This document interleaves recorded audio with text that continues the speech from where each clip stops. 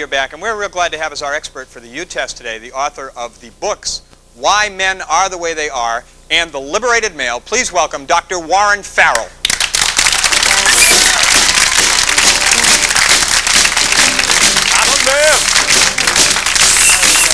Hi, Warren. May I call you Warren? Sure. Would you call me Dr. Jack? Sure, Dr. Please have a Jacks. seat. How are you? Why are men such Dr. Jacks? We're happy that you could uh, be with us. Thank we you. tried to get you here one time before in the fog. Uh, Kept us out. yeah, but we're, we're glad you made it. Thank you. Now, um, before we get going, how do you gather all this information? I, I was reading both of your books. I make it up as I go yeah, along. yeah, I noticed that. See, it's all right. We're going to uncover this today.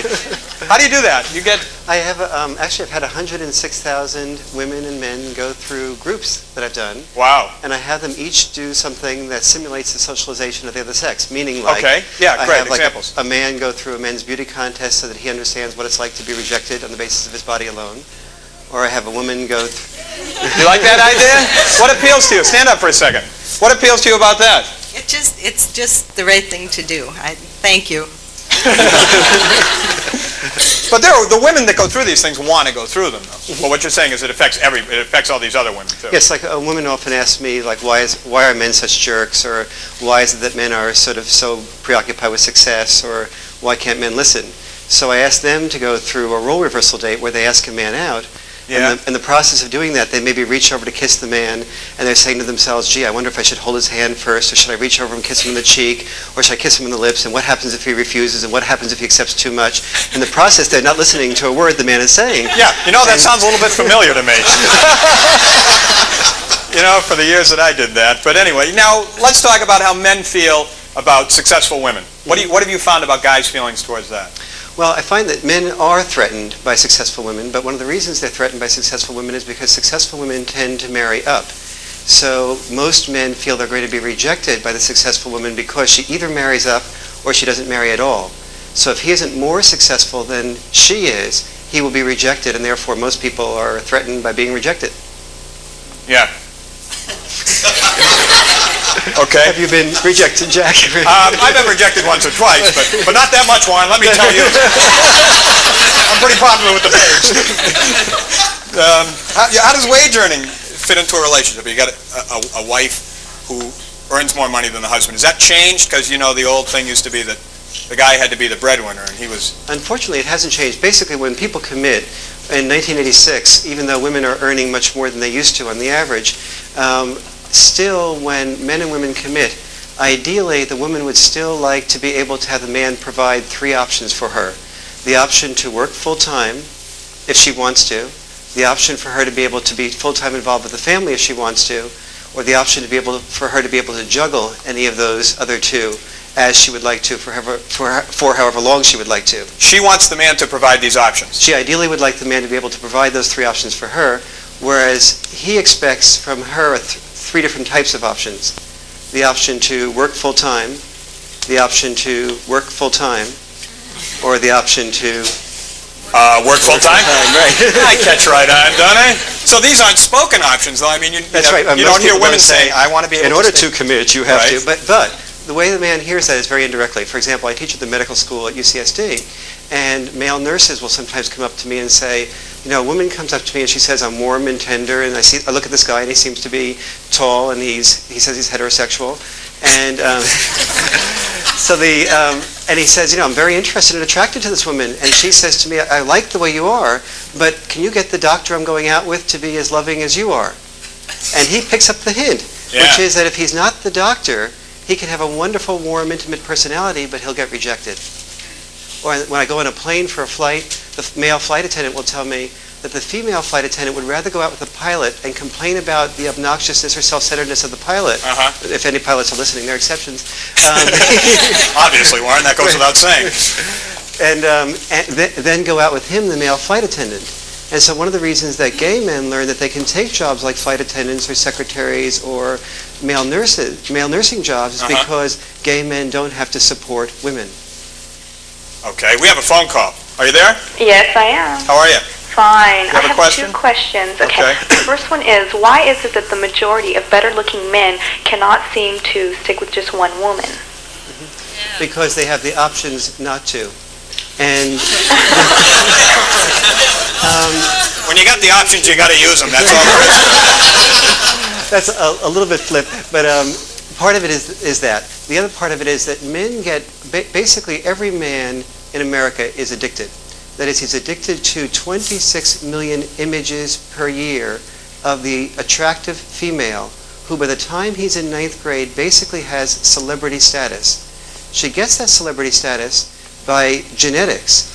In, in Why Men Are the Way They Are, I call her the genetic celebrity. Uh-huh. And he notices something about that attractive female, which is that the ninth grade female is not paying attention to the ninth grade boy. She's paying attention to who?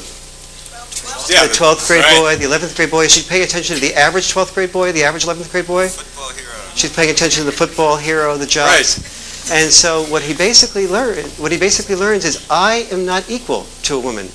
And I will be rejected by the attractive women that I am attracted to. So when he finally gets the option to not be rejected by her, he oftentimes fulfills his addiction and he compulsively goes after her. And this isn't true conversely with women? No, if women are much more likely to get messages that many women are attracted to men, but if a man gets to be 24, 25, and he's still good looking, but he hasn't done something with his looks, we say, what a waste. And the woman doesn't go chasing after him. And if she goes chasing after him, it's for one night, not for a long-term relationship. She doesn't bring home a male secretary to her mother or father and say, guess who I'm bringing home for Thanksgiving? I'm so proud of him. He's a secretary. Yeah. Um, she, she, and, and being good looking isn't good enough. The Marlboro man isn't good enough. He has to also be on the horse mastering the environment. So we as men learn it's fine to be good good looking and it'll give us a little leverage for a little bit. But if we don't translate our looks into something, it's not going to go anywhere. Okay. Thank you for calling. We appreciate Oh, you I have one more question. Okay, can you hang on for a second? We have to take a break and we'll come back and take a question. We're going to come back with Warren Farrell in just a minute. So hang around. Call us if you'd like. We'd love to hear from you.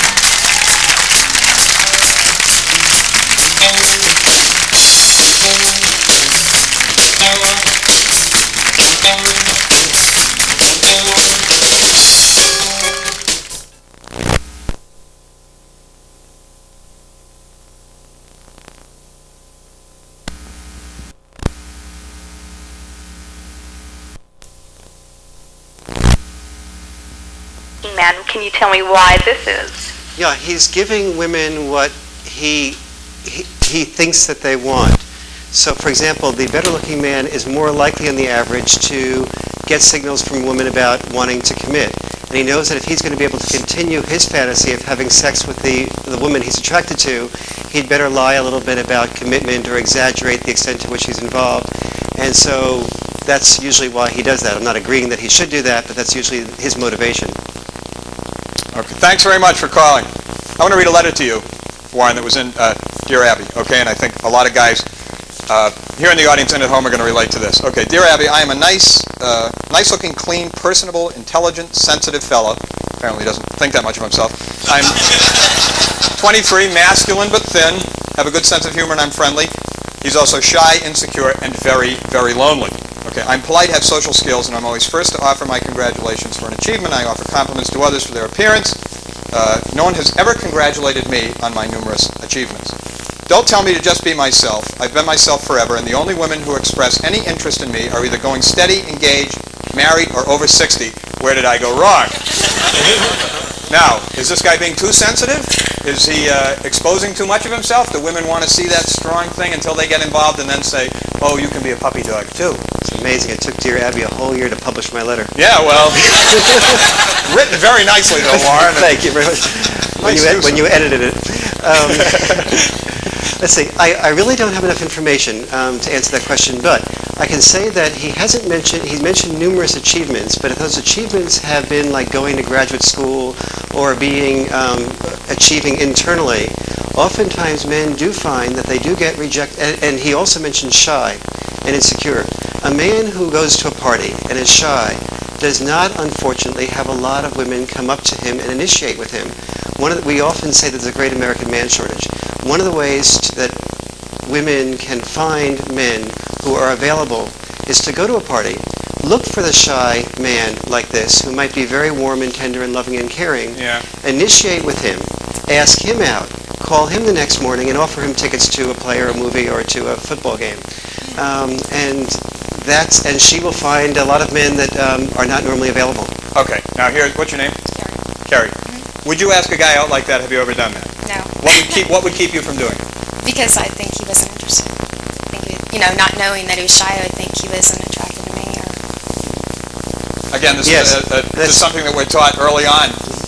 And and now is your name Carrie? Carrie, Carrie, Carrie doesn't have to do this now because she's very attractive and she's young. She's at the height of her genetic celebrity power. But um, You're that, you're that celebrity. but Congratulations. but if she's married for 20 years and then she goes out in the market again and she's 43 rather than 23, let's say, Right. uh, the chances are fairly good she won't be so much at the height of her genetic celebrity power and she will be in a weaker position because she hasn't trained herself to do the initiating.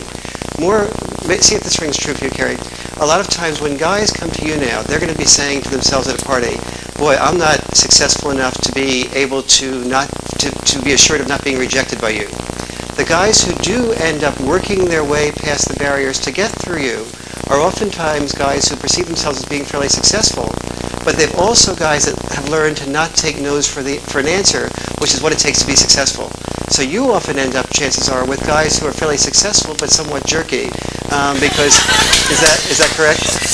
yeah, very.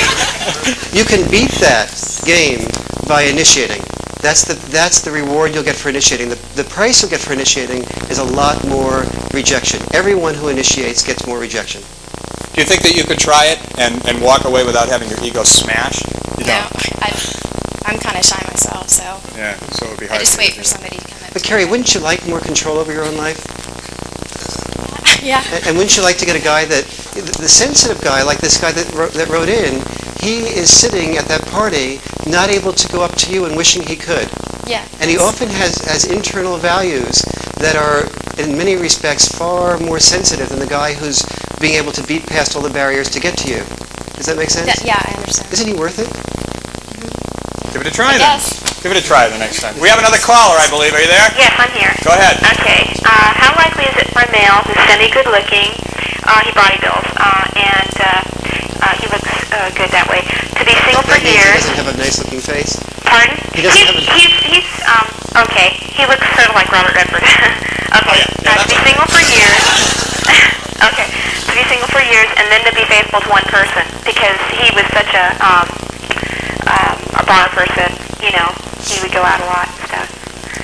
And her question So you're asking- My One question is how, how, what, what's the, um, rate of, of men that have that kind of background and then be faithful to one person, say, Are they more likely- I'm gonna stop that now. Are they more likely to run around than other guys? Yeah, it's very hard um, because basically the man is, men in general are activating their sexuality and they make some decision basically. And that is if I'm not very good looking and I don't have much to go for me, I'll, s- I'll, s- He's got a lot going for him. No, exactly. But when a guy does have a lot going for him, the chances are he's been fairly successful with women, and his fantasy is to have access to attractive women. Playboy and Penthouse is still the number one and two best-selling Yeah. magazines in the United States for men, and he can begin to have that.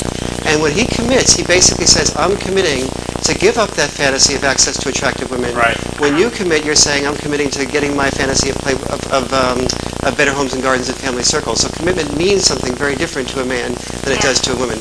And so your basic question is, is can he give it up? Yeah. And the answer is it's going to be tough. And most men who do give it up, give it up because they feel really understood and appreciated and loved and catered to, and there's a, a fairly active sexuality at home. Yeah. And keeping an active sexuality at home is a very difficult thing because most relationships become basically like incest relationships.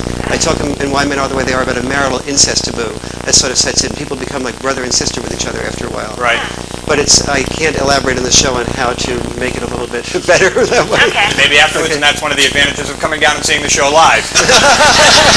now, um, the point you make in your book is that their man's uh, number one fantasy is sex. Sex with as many partners as he can get, right? Actually, yes, both sexes have what I call a have-it-all fantasy, Jack. Both sexes would like warmth, tender, vulnerability, openness from their partner, to be understood, to have an attractive person, to have economic security. But men feel deprived of access to the attractive women, and women feel deprived of economic security. Okay. So women tend to fall in love with the man who can provide that, and men tend to fall in love with the attractive woman, and then they both find themselves with problems with the person who is the attractive woman and the man who is a successful man. Okay, you have a problem, I think, with the uh, the woman's fantasy, which Warren says in his book is to be cared for and to be secure. I no, I agree with that. I just think, don't you think that men fool around more because they don't take sex as seriously as women do? I mean, to men, there's a place to come. Well, except for him. We've started a fight. Yeah, but I mean, I think that men would would turn to you and say, well, it didn't mean anything. You know, I oh, I slept with you know these 12 women, but it was just sex. Where a woman's going, what do you mean it was just?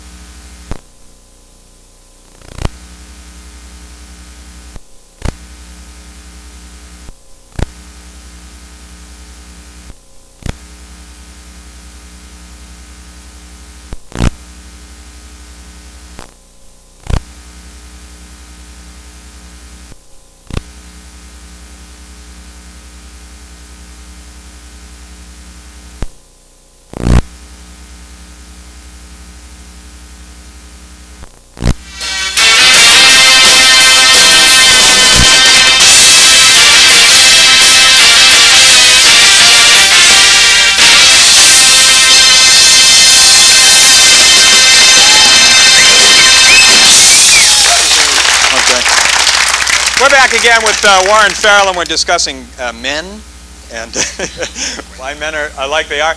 Uh, we have a bunch of phone calls. If we don't get to you today, because we have a lot of people in the audience that want to comment too, we thank you for calling. Please call back. Better still, come down and watch the show. You can get tickets by calling 916-325-3285, and you can be part of the festivities, the dancing, the cheese snacks, the strawberry Quik. It's all happening. And today we're finding out why guys are jerks, apparently. But uh, um, you know, a comment that you made in your book that really hit home was the fact that advertising still portrays women as being all fluffy and all tender and flowing. And, and you made a comment that hardly ever do you see in women's magazines a computer ad, how they can make their business better, but everything is geared toward, even the magazines that are uh, supposedly liberated, Yes. are still makeup, um, hair, whatever. I was astonished when I was when I looked at Ms. Magazine that way, and um, and the New Woman magazine and the Working Woman magazines. That still about 80% of the ads in those magazines are oriented toward makeup, cosmetics, um, some way fashion, some way of making the woman look beautiful Yeah. and attractive. And it throws, you know, it throws me off. I think to myself, geez, well, I'm not being a sensitive Mhm. 80s guy. And Well- then you don't, and then I think, it's me, it's me. Yes. I'm a jerk, I'm an idiot. And, and, and then you're thumbing through these magazines and you're seeing all these babes all made up and you're thinking, yeah, yeah, yeah. And then you think, well, I have to. have I remember going down. through the uh, Ms. ad, uh, Ms. ads and seeing, for example, ads in Ms. Magazine in which it said um, there was a diamond being given by a man to a woman. Right, And right. then two years later, there was the same diamond ad being given by a man to a woman, but the only thing was that the diamond had doubled in its size. Right. I remember that. we have, uh, you folks are the married couple that we're going to talk to, right? This is uh, Bob and Dee Dee. Nope. No? That's up here. Okay. You guys are Cindy and, say yes, no matter what. Cindy and Pat. Right. There you go. I knew I had them. Okay. We asked um, people to write down comments about um, how they felt about each other. And Cindy says that she gets confused when men can go out and spend hundreds of dollars on toys for themselves and then come home and gripe about their wives spending too much money for groceries. While Pat says, my wife would like me to be a mind reader, and when I'm not, she feels hurt. well, we've started it now, Warren. Now, is this a typical feeling between people that uh, the women that Yes, yes, it is fairly typical, and um, and men do need to spend a lot more time tuning in to women's feelings. Um, women and women need to spend a lot more time asserting and saying exactly what they do feel. But women often get thrown off by that because they oftentimes they articulate to their women friends what they feel, and they come back and articulate to a man what they feel and expect and the woman friend has no defense mechanisms because she doesn't have any investment in having to obey those feelings. Uh, whereas you might be in the middle of an argument with your husband and then mention something that you've been talking to your woman friend five or six times and in a way it feels to you like the seventh time that you've mentioned it to him he doesn't pick it up on the same level that you say it at and you say to your woman friend god you understand me better than my husband understands me and that increases your alienation toward your husband and so one of the things that I really work on a lot with, with women is A, articulating their feelings clearly, and then B, rather than repeating them, ask their husband to articulate back to them what you think that he that you said and what your best intent was. Is that at all helpful? It's clear, but I think it's hogwash. I'm sorry. Go ahead. Yeah. Uh, good. It's clear, but I think it's hogwash. Okay, But don't you think? I'm sorry. Tell me why. Well, because what you said about having women friends, women do understand other women much, much better, much, much easier. You can only say, you can say it one time to another woman, Mm-hmm. she'll know exactly what you mean. You know, your husband doesn't have any idea But what you're that's what talking he's sa- about. that's what he's saying. Right, Is but that she I can art- understand you so much easier, and you go home and say it to him, and he might have a hard time fathoming what you're saying. And to you, it's frustrating because your woman friend understands it right away, and he doesn't, and you just figure, oh, I've had it. I don't even want to talk to you about that. Cindy, you and I really are talking the same length. For example, if a woman says to another woman, he's afraid of intimacy, he's afraid of commitment, immediately that means to the other woman the same things it means to you.